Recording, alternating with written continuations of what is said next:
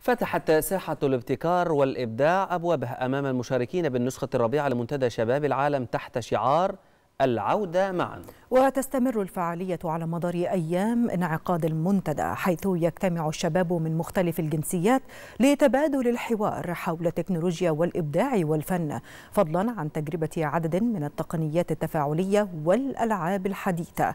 وتهتم منطقة الابتكار والإبداع بالأنشطة التفاعلية التي تتيح للمشاركين تجربة الألعاب بتقنيات تكنولوجية مختلفة فضلا عن زيارة المتحف التفاعلي الذي يضم عددا من الشخصيات التاريخية التي يدور من بينها حوار خيالي مثل كوكب الشرق أم كلثوم والملاكم العالمي محمد علي كلاي وعالم الفيزياء نيوتن والملكة المصرية نيفرتاري ورائد الفضاء نيل أرمسترونغ.